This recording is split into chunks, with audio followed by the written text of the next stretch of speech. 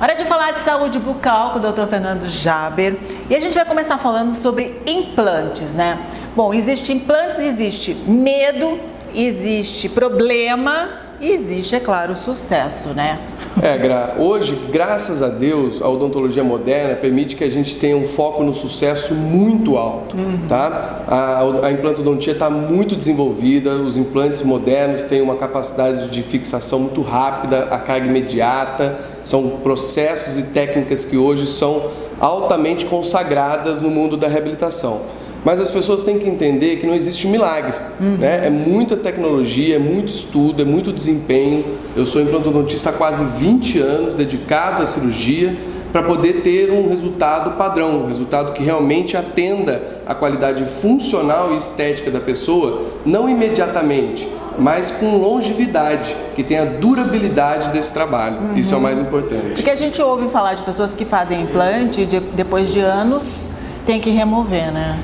Um terço dos implantes que estão sendo colocados hoje, Gra, vão ser removidos em menos de 5 anos. 5 anos? Isso quer dizer que a banalização do implante está levando as pessoas a acreditarem, a fazer a, a colocação do pino e um dente pendurado lá dentro.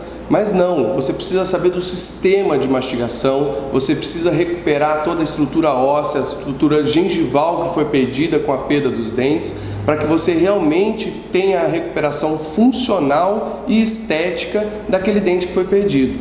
Isso dentro de um contexto de mastigação é que vai trazer durabilidade. Então é muito importante investir num profissional que vai te trazer qualidade, porque a durabilidade vai fazer com que o seu trabalho fique mais barato. Uhum, mas o implante ele dura, é para durar a vida toda. Ele é feito para durar a vida inteira, Gra. Uhum. Não existe um tempo mínimo de duração do implante, mas desde que tenha um contexto de manutenção, de recuperação, como eu falei, da parte funcional e estética, uhum. que você recupere toda a biologia que foi perdida com o dente. Entendi. A gente tem que entender primeiro o que, que levou à perda daquele dente. E muitas pessoas acham que os dentes são fracos e quebram à toa. Não existe isso. Não existe você... dente fraco. Não existe dente fraco. Existe sempre um motivo que está acontecendo que está levando a você fraturar dente e perder dente. Se a gente não detectar esse motivo e resolver esse motivo, não adianta pôr um dente novo ali, um implante, que vai acontecer a mesma coisa com o implante. Entendi. E essa é a sacada de quem estuda, de quem dedica a implantodontia, entender exatamente o porquê da causa